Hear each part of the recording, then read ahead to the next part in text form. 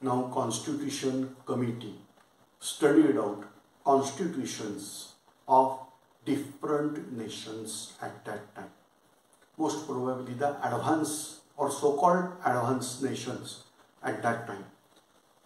Then obviously we were having familiar with uh, the Government of India Act that is of 1935. The finally we got after prolonged experiments from British government, right from Pitt's India Act, then whatever that Charter Act and all that, finally we got this, the most amended act, that is uh, 1935's act.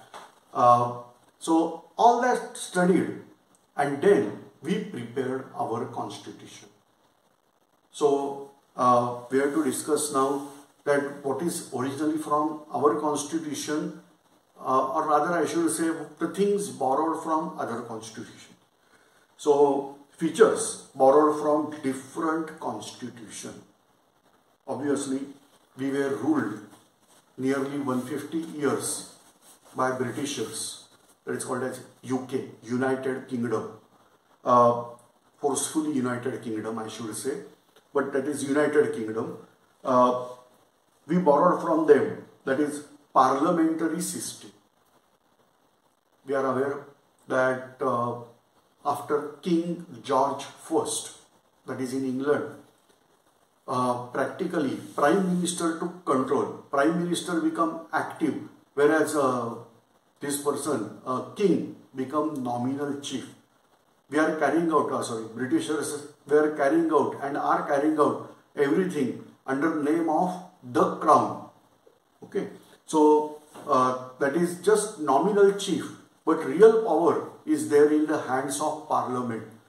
Say for example, whether to fetch war against Germany or not during Second World War, decision was taken by parliament. Okay, and then finally uh, it was said yes by king. But initially the decision taking process is there that deciding process, everything was decided in parliament. So same thing, that is we are calling parliamentary system. Then second, rule of law. We are going to discuss these all topics afterwards. So uh, in next lecture only, uh, that is features of Indian constitution. There we are going to discuss. So right now I am explaining little bit. Rule of law, that means we have to go according to law. No person is above the law.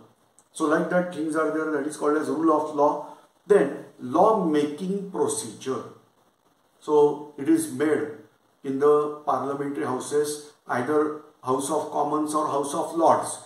So that was there in England. Similarly we borrowed from them. Then single citizenship. So in India, uh, if you are aware that suppose uh, now I am from Maharashtra, but I want to visit Bihar. So can I visit Bihar? Answer is yes. I can travel without visa, without passport from one state to another state. That is called as single citizenship. Now, bicameralism. Here we can say the camera, that is Urdu word kamra, like that. Two chambers we can consider like uh, uh, in case of Shah Jahan and all that, they were having Diwan-e-Am, that is House of Commons, and Diwan-e-Khas, House of Lords. So similar system that we adopted that is bicameralism uh, but we changed the name instead of House of Commons we call it as Lok Sabha and House of Lords we call it as Rajya Sabha. Uh, by the way, uh, making words is also important and maximum contribution for making words is actually uh, going to a person that is Swatantravir Savarkar.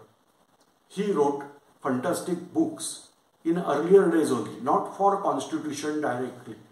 During British rule only, uh, his uh, book is famous as Bhasha Shuddhi. So we had to adopt British words by making some uh, Indian words. 99% uh, words are drawn from Sanskrit. And like that, uh, these uh, words were published and after freedom, Many of these words are adopted here. So bicameralism that is from UK. So from UK, we adopted parliamentary system, rule of law, law-making procedure, single citizenship and bicameralism. Now USA, that is United States of America. Keep in mind, they are United States of America. Okay. Uh, from that, we adopted preamble that we are going to discuss in some other lecture. We may be possible third lecture from this lecture we are going to discuss that is preamble. Then independence of judiciary. Now when uh, America that is USA got freedom from England, afterwards there was no concept of king and what that medieval era that was having some uh, concept they were not there with them and so they were able to develop their free activity as human beings required like that they produce many things over there. And so uh, they have independence of judiciary. Then uh, judicial review.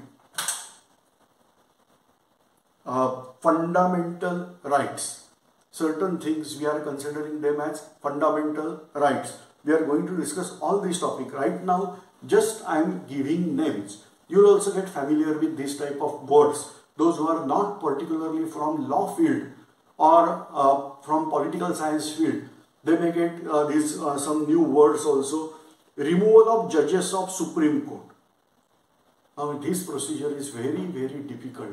But yeah, provision is there.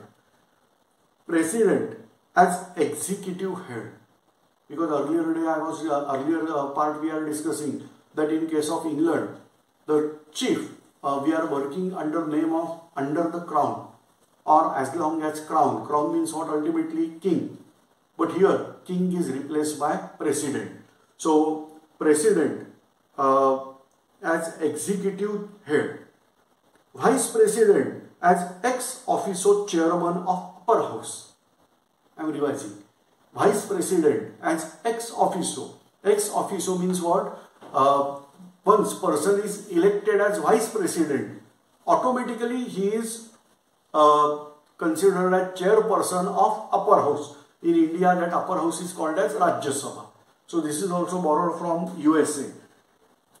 So all these things we borrowed from USA. Now Canada. Uh, some issues are there with Canada uh, right now in 2023 uh, till here but may be possible earlier we are going to solve it because when we are saying Vasudhaiva Kutumbakam then obviously we have to forgive certain parts. Uh, federal system with a strong center that is the important part of Canada. See when India was uh, we can say British rule was about to end and Indian freedom is about to achieve. At that time, there were many disputes. People were demanding fantastic things at that time. We want independent state, princely state. I want to keep my state as independent state. And like that, things were there. Even Britishers were wanting that only. That's why in cabinet mission plan, in uh, plan, they were encouraging these uh, people. Uh, for example, let us make constitution of provinces separately. Let us make constitution of provinces separately.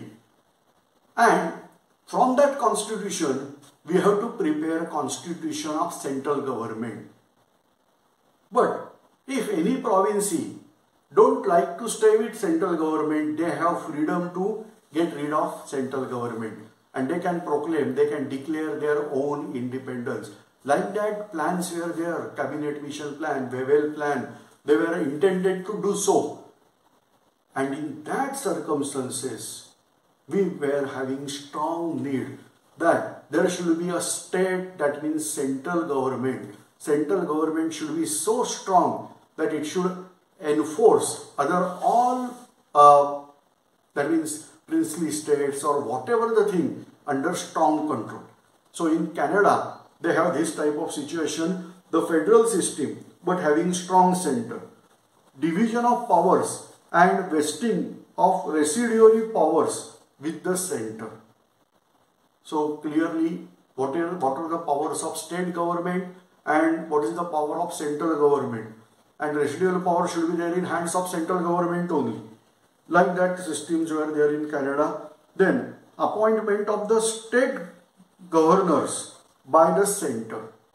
No, actually it was there in 1935 Act also, but we say that it is borrowed from Canada. So uh, we are aware that today also governors are appointed by president. President means here central government and president we are aware that president is not doing anything on its uh, on his or her own will. President should guide always by prime minister. Prime minister is leader of council. So whatever the decision is taken by council that is conveyed by prime minister to uh, president and then president is acting on this. So like that things are there. So president is appointing governor. So that means governors of all the states they are appointed by central government.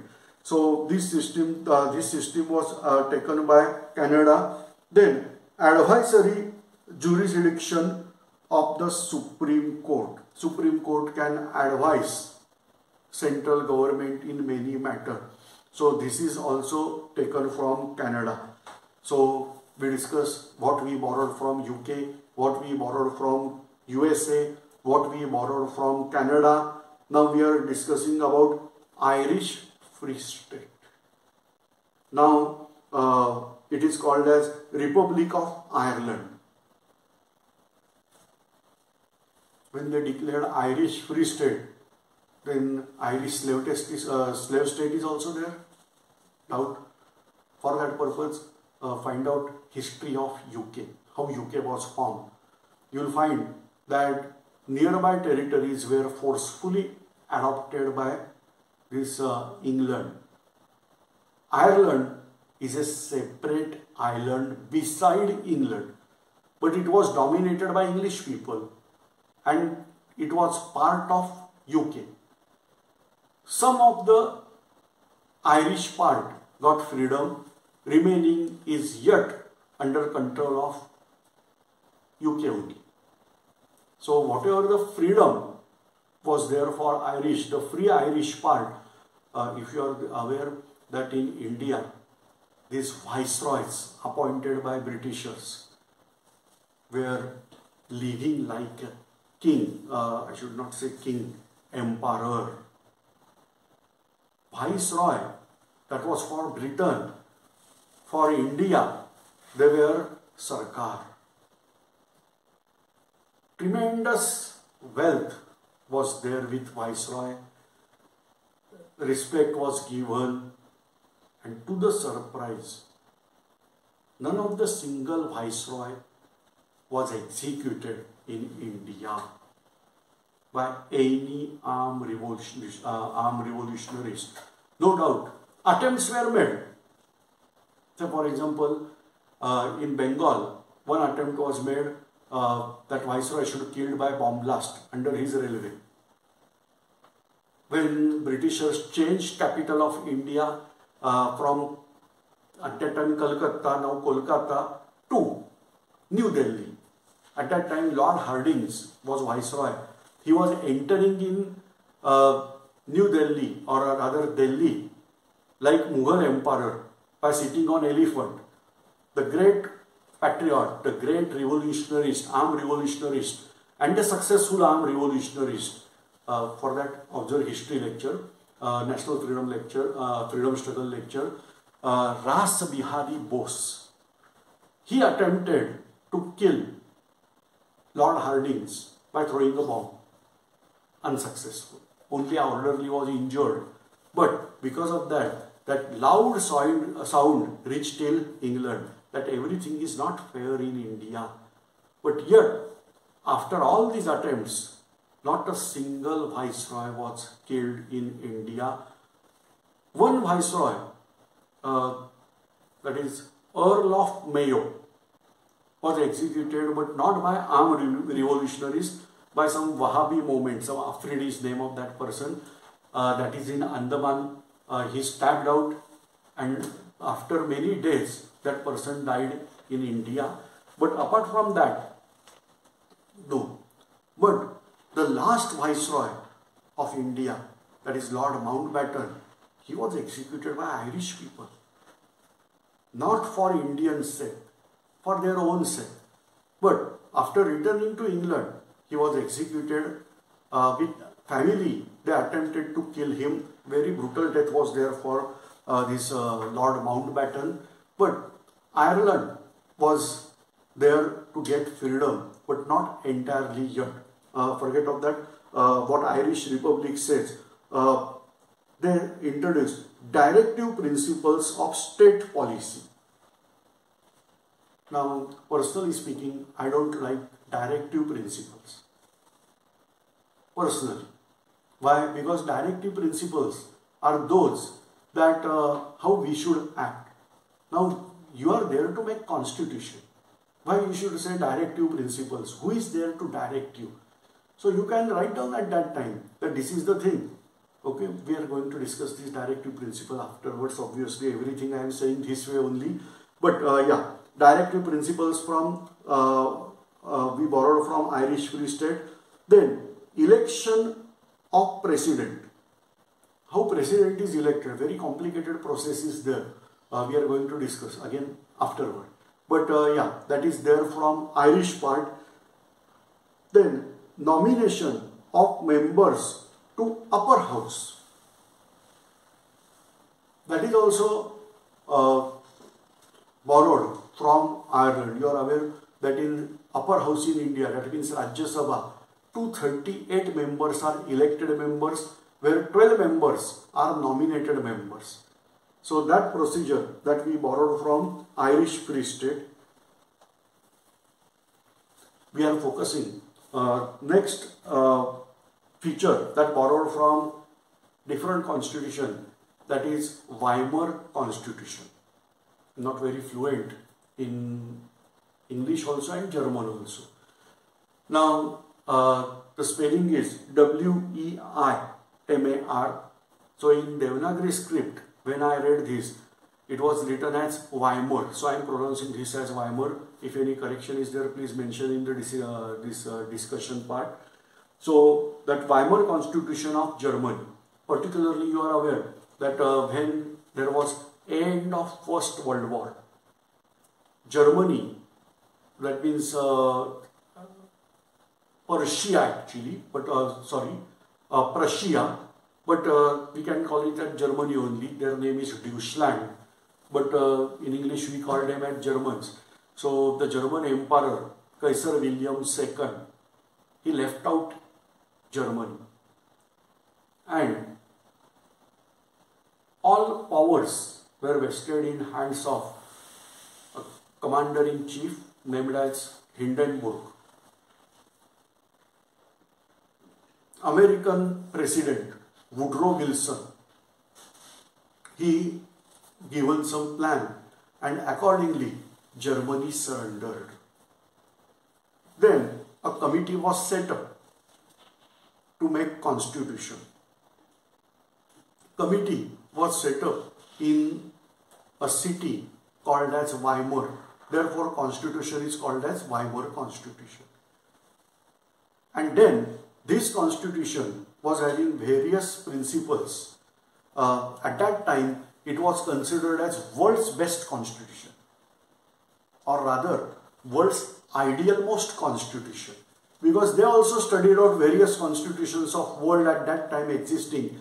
And then they prepared their own constitution that is called as Weimar Constitution with that constitution only, Hitler got power and absolute power afterwards by using that constitutional feature only. And he rose to dictatorship. Now same thing is here. When I am talking about Weimar constitution, I must remember Hitler.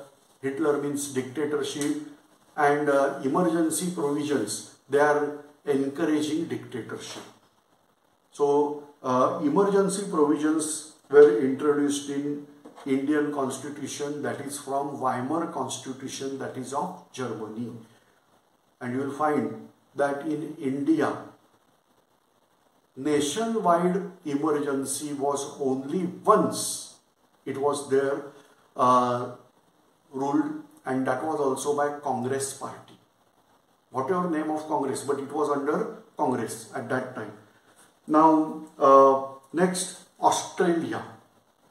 So from Australia, we borrowed a concurrent list provision regarding trade, commerce, etc. Now, Union of South Africa.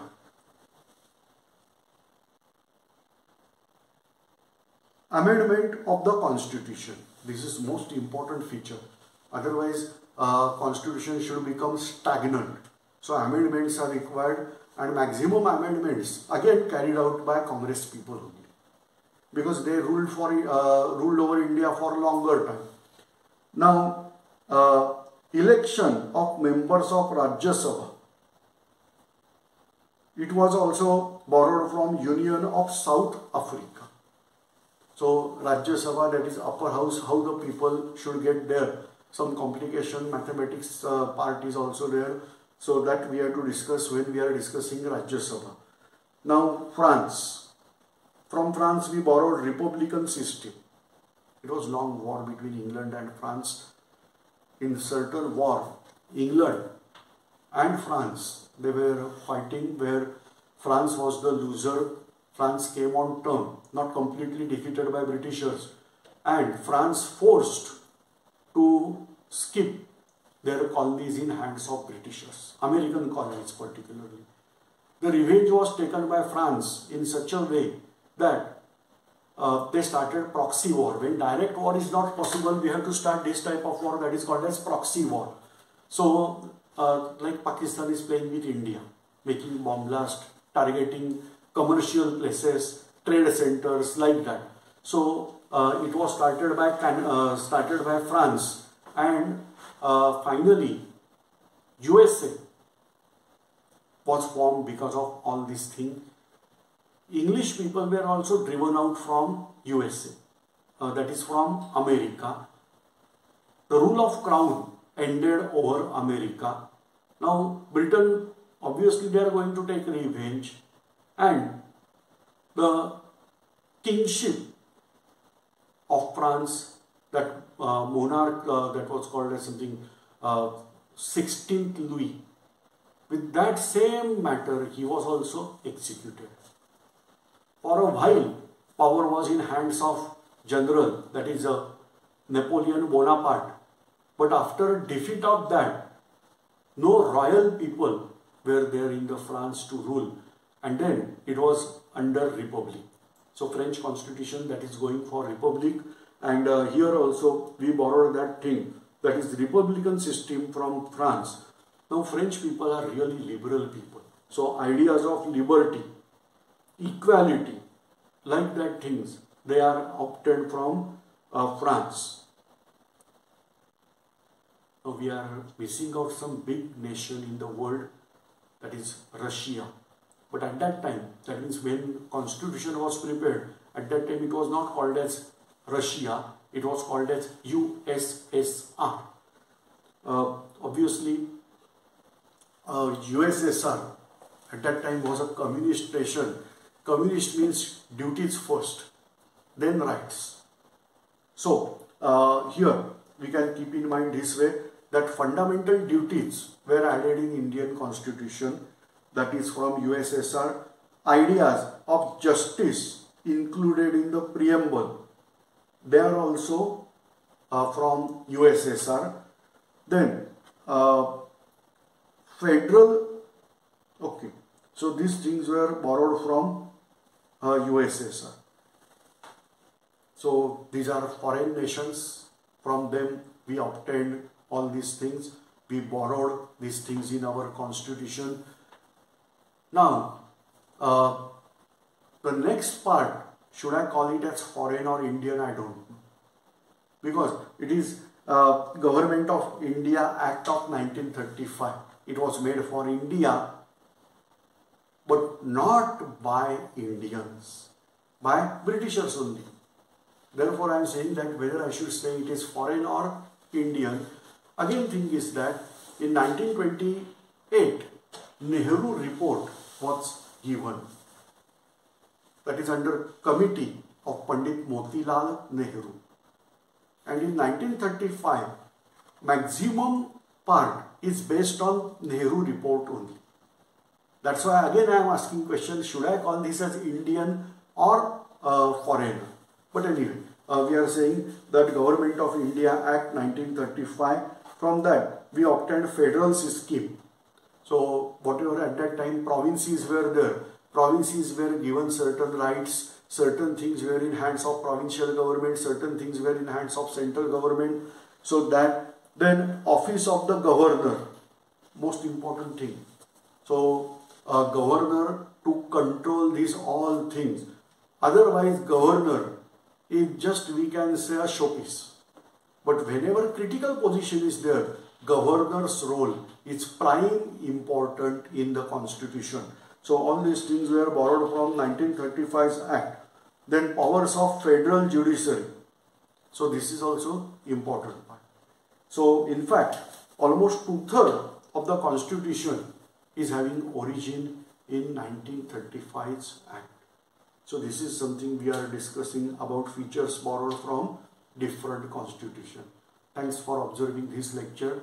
In next lecture, we are going to discuss about features of Indian constitution.